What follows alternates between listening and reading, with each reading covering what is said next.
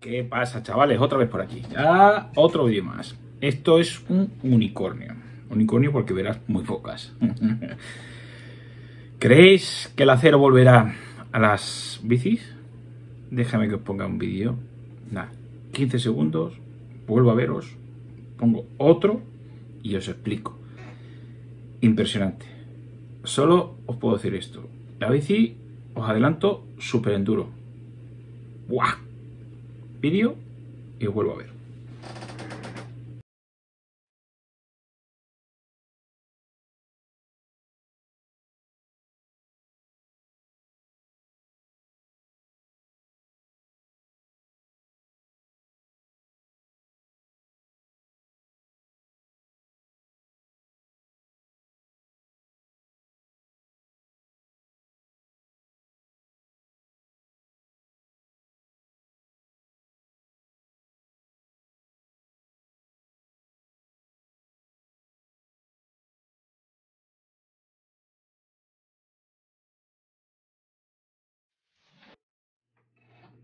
¿Qué? ¿Qué os parece el vídeo? Pues espérate que ahora llega el desglose. Lo hacen robot, ya no, no como la fibra de carbono. Que lo tienen que hacer manual a un molde y luego a un horno. No, estos son robot europeo. Mirar esto y luego lo desglosamos y la sacamos caña, que también tiene sus pegas.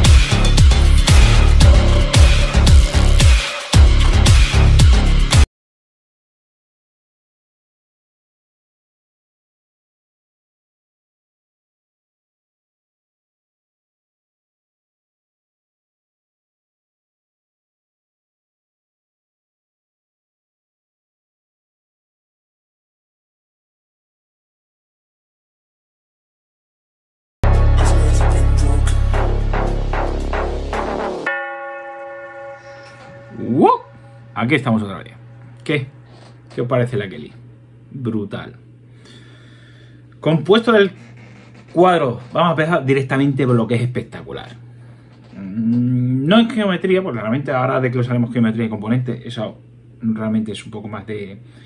Digamos que se parece a la Norco, entre comillas, pero el sistema de suspensión es un poco el Twin Pink, este que es un monopivote virtual y tal.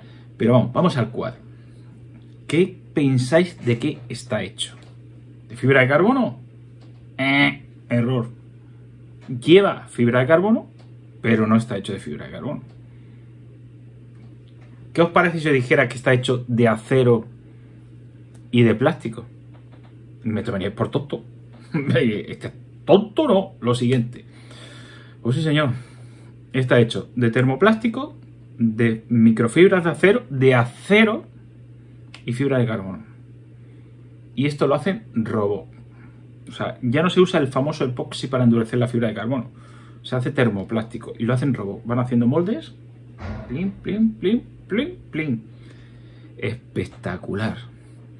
El avance de esta gente, después de que 25 o 30 años que llevan al sector de- de- del enduro, ha sido espectacular. Pero espectacular. Los detalles del cuadro son y luego la ventaja que tiene que lo fabrica un robot, quita puesto de trabajo. Vamos a, vamos a ser sinceros, porque si la fibra de carbono lo tenía que hacer eh, manualmente los chinos, chinos, europeos, bueno, da igual, por la gran mayoría de, de los cuadros vienen de China, o sea, chinos y tal. Ahora abaratan los, deberían abaratar los costes porque lo hacen robot y te sacan un molde exactamente igual al siguiente. O sea, pim, pim, pim, pim, pim, una cadena y tal. Entonces sería espectacular.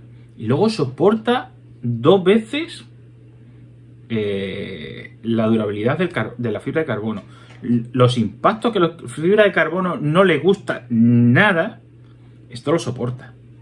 A ver, a ver, lo soporta. Si le pegas un tiro al cuadro, la atraviesas, vamos de un lado a lado. O le pegas, te pegas un somonte, hostia, de, una ramper eh, del Red Bull, también se rompe. ¿eh?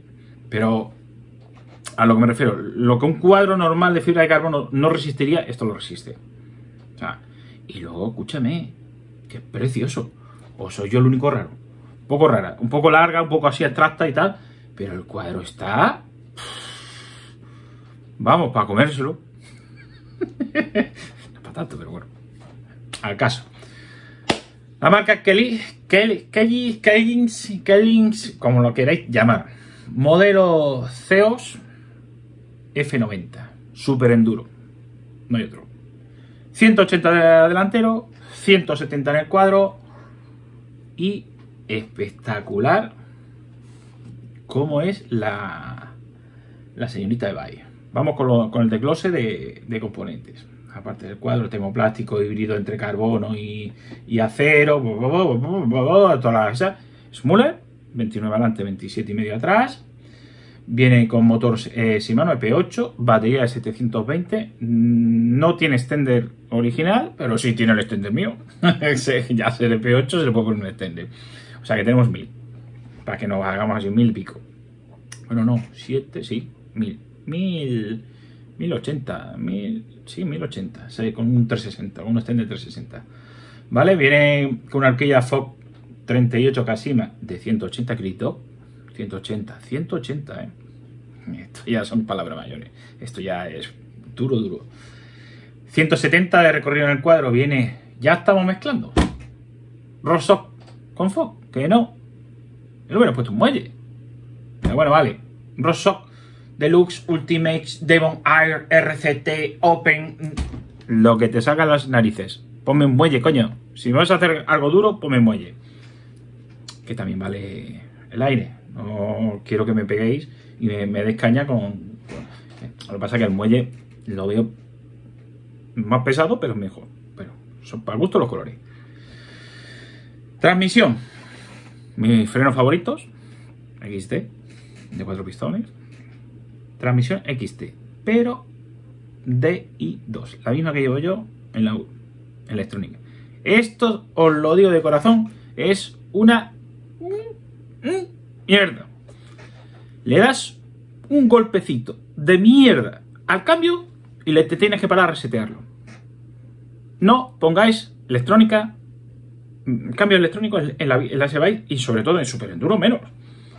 Porque se tienen que resetear, por lo menos sin mano. No he probado la SX. Sé que tiene un. se retrae y luego se contrae, pero lo mismo lo tienes que resetear. Y el SX tiene un problema. Llevas una puñetera pila de botón que, como no lleves una encinta en, uno de los cables o algo por seguridad o en la mochila, te quedas sin cambio. Si malo no, porque va todo a la batería principal de, como pasa en mi bull, va todo a la tira de la batería principal de, la bici. Entonces no, no tiene ese problema. Pero le das una gilipollez de golpe y ya no cambia. Te dice que le resetes. Ah, no, por culo, pues no sabes los huevos cambian. Te tienes que parar, coge la pantallita, vete a reiniciar, pipí, papá, papá. Eso es la ruta. Eso que sepa reiniciarlo.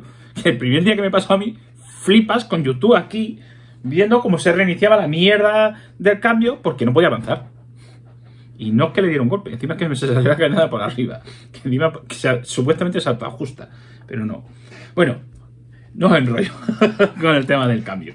Pero que sepáis que los cambios electrónicos para las e y sobre todo de super enduro o duro, no enduro, no os lo recomiendo. ¿Que lo, lleva de serie? Pues como el XTR. Pero bueno. Vale, seguimos. Ruedas, una DT Swift. Buge 350, Rixky y modelo H1700. Me esperaba un modelo más alto, 1501. Pero bueno, últimamente se lleva mucho, porque Norco lleva estas, más que la G. E y H es lo mismo. Lo que pasa es que he puesto H de, de de híbrido, de, o sea, de, eléctrica, te han metido un gol, te han puesto una llanta de las que vale 30 euros, te las han metido aquí y tal. Que no. ya explicaré por qué digo eso. Y tal. Bueno, las 1700 no están mal. Me parece una rueda coherente, pero para ser tope gama, no. No. Es una cagada de aquí, de aquí de Norco. Ya lo dije en el vídeo de Norco, de la canadiense. Fox eh, Transfer Factory, ¿vale? Casima en, en, la tija, eso ahí no hay duda. Race Face en manillar y potencia, bueno, está bien. Ruedas unas una Eric Curring de Sauber, Sauber, si me da el inglés, de cojones. Vale, compuesto blando, tal, en 2.6 en 29 y 2.8 en 27 y medio. Vale, no está mal. No tengo pesos. No consigo ver el puñetero peso, ni en foros, ni en nada. Nadie la ha pesado, tío. Y eso que la tiene ya de gente. Nadie ha solo bici. Quiero saber lo que pesa esta bici, más que nada por el cuadro. Hostia, que lleva cero. Y el acero es duro, pero es pesado son microfibras. Sí, pero bueno, no lo sé. Mm, Vamos con las cosas interesantes. Vamos con la geometría. Super enduro. Yo creo que estos han pasado con el título. la categoría como super enduro. La categoría con el enduro. Así, medio. Lo único que pasa es que, bueno, tiene 180 y 170, que eso sí la hace dragona. Pero bueno, al caso. Vamos con la geometría. Tenemos eh, ángulo de dirección 64 y medio. ¿Ves por qué no es super enduro? Porque para mí super enduro es 63. Para mí, ¿eh? Para esto a lo mejor no. Ángulo de sillín 76, bien. Eso ahí, no hay duda. El longitud de vainas 45,9. No me gusta esa longitud de vaina para 27 y medio, ¿eh? Pero el sistema de suspensión que tiene es cojonudo. Es trago. Trago espectacular. O sea, espectacular. Este sistema lo he visto en otras bicis, tipo monopivote. O sea, digamos que el triángulo trasero es, estanco y lo que lleva son dos veletas, una arriba y otra abajo, que hacen que oscile solo el triángulo. O sea, no, digamos que no tiene ningún ángulo al final de la rueda. ningún rodamiento ni nada. Es completamente un triángulo. ¿Vale? Y hace que, pivote las veletas que tiene tanto abajo debajo del pedalier, la del motor, concretamente esta, y la que engancha al amortiguador. Y es espectacular. Eso a la hora del antisac en, frenada, o sea, el, perdón, el, el, anterior en, en, frenada, ah, ¿qué pasa? Que si pegas un frenazo, la rueda no se vuelve loca. Que es lo que pasa realmente en, las amortiguaciones malas. Entonces, pierdes tracción, pierdes eh, seguridad, pierdes... Aquí no, aquí la rueda, o sea, el amortiguador sigue actuando aunque tú tengas la rueda bloqueada, entre comillas, ¿vale? Aquí la eficacia del pedaleo se la pasa por el foro los huevos. Que sí, que tiene un antisac, mmm, pero esto está más hecho para... Y aquí no queda pedales, ni, ni tocar los frenos, porque seguro como toques los frenos sales volando. Así que, para abajo, y que vaya tragando y que de vez en cuando toques un poco los frenos para decir, madre, que me mato. Y poco más. Y los ángulos yo lo hubiera bajado a 63, por lo menos, 63 y medio, pero bueno, tampoco. Las vainas un poquito largas. Pero claro, si lo han hecho bajadora, lo han hecho bajadora. De agilidad aquí se lo han pasado por los cojones también. Porque esto, subiendo una zona técnica, te veo andando. Personalmente te veo andando. Como sea un poquito técnica, técnica de subida, bajas de la bici que vas a adelantar mucho. El looping de la barra diagonal y tal, está de puta madre, ¿eh? Porque ahí te deja un juego bastante y un Richie. Ya sí que os digo que está hecho para bajar, para bajar, para bajar, pero el ángulo han puesto 64 y medio, pero bueno, tal. Tenemos 64 y medio en dirección, 76 en, sillín, eh, vainas 50 y, o sea, 45,9, 46 y Rix 46,3. Así. Claro, vamos, así, así. ¿Para qué? Para ir así. Ya te lo digo. No, tanto, coño, esto es una exageración.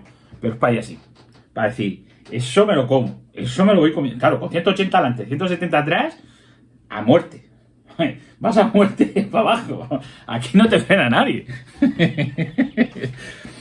Pero bueno, volviendo un poco al tema de esta bici, por lo que realmente a mí me ha sorprendido, ya no por la geometría, la geometría me gusta más la de Norco, me gusta. Bueno, la geometría Rocky Mountain, pero bueno, son gustos. Y todas estas valoraciones son cosas personales mías. Y después de haber probado bicis normales y bicis eléctricas y tal. Eh, el diseño del cuadro, el material, quién lo hace, cómo está diseñado, que lo hacen robot. Y luego cómo es la bici. Solo tenéis que ver alguno de estos vídeos. A mí me enamora. ¿Me la compraría? No.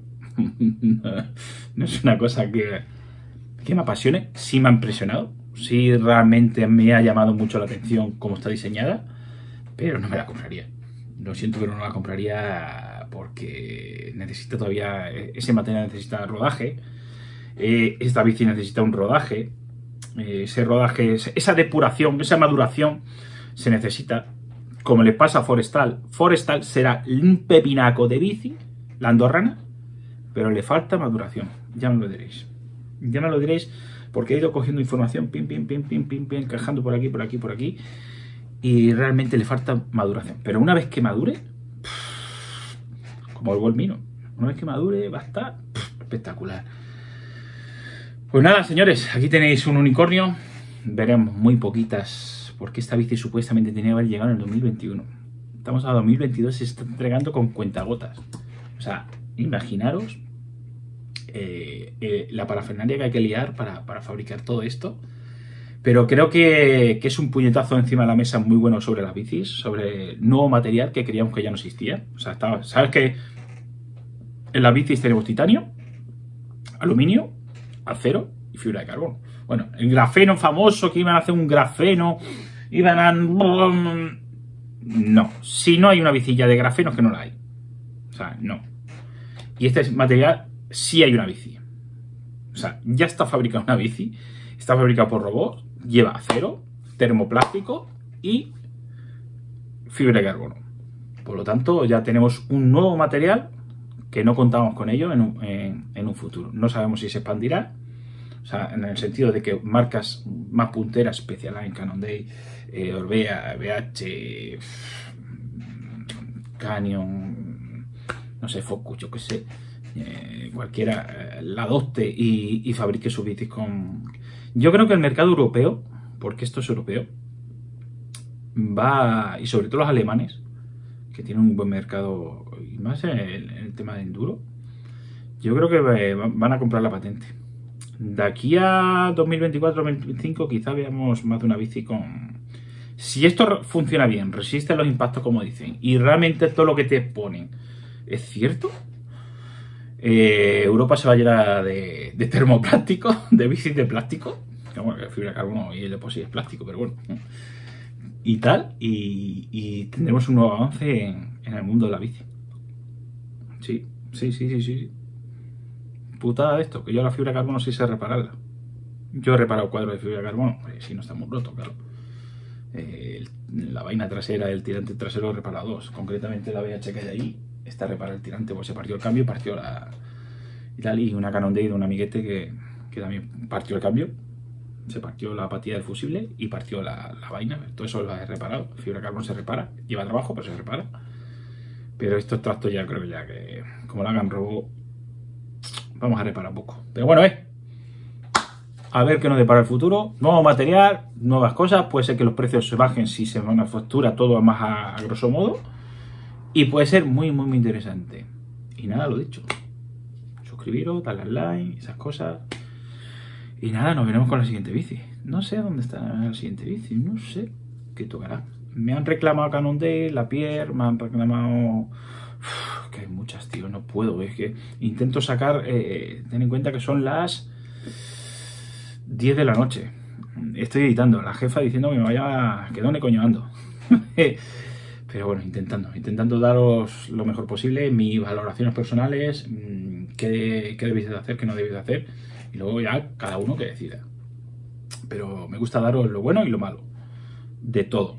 Lo, lo bueno y lo malo, como lo veo como mecánico, como electrónico y como piloto. Bueno, piloto. La palabra piloto ha sonado muy grande. Como reader. Queda mejor, ¿a que sí? Vale, pues nada, compañeros. Pues ya sabéis, vamos al siguiente vídeo y a ver qué, qué liamos, qué liamos por aquí. Pero que sepáis que viene un nuevo material a las bicis. Y es mitad acero, mitad fibra de carbono, con unas pinceladas de plástico. nos vemos. Un saludo. ¡Pipi!